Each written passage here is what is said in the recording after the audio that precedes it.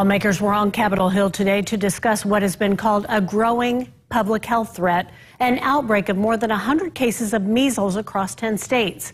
Representatives talked to experts who focused on the need for vaccinations as the primary prevention tool.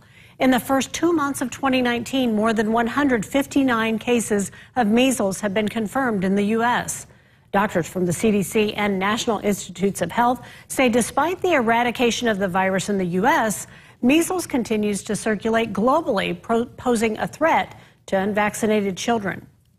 We shouldn't be criticizing people who get this information that's false because they may not know it's false. We need to try and continue to educate them to show them what the true evidence base is.